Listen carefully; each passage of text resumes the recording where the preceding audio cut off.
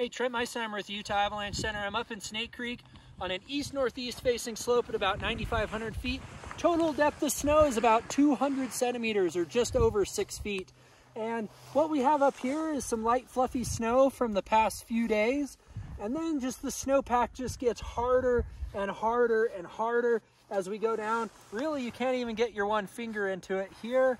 So we use a pencil and from about here up, is all of the storm snow from the Valentine's Day storm cycle where Alta recorded about 100 inches of new snow. And then this layer down here is actually the old faceted or persistent weak layer problem. It's still here. It exists. If you come down here and look, you can see these grains are still faceted.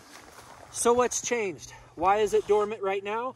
Well, as you can see, this layer is gaining a lot of strength. And the reason why is because it's very well insulated by all of this storm snow on top of it. So we've removed the temperature gradient.